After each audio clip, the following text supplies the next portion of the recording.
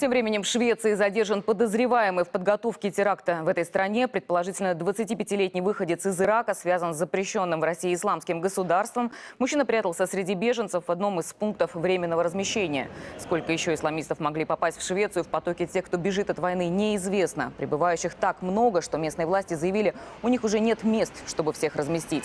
Попытки сдержать волну бегущих в Европу страны начали ограничивать поток. Сербия, Македония, Словения, Хорватия теперь пропускают только выходцев из Ирака, Сирии и Афганистана.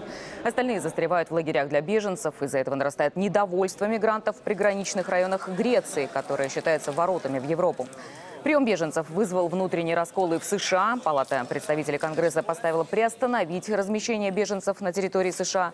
Ранее за это выступили губернаторы десятка штатов.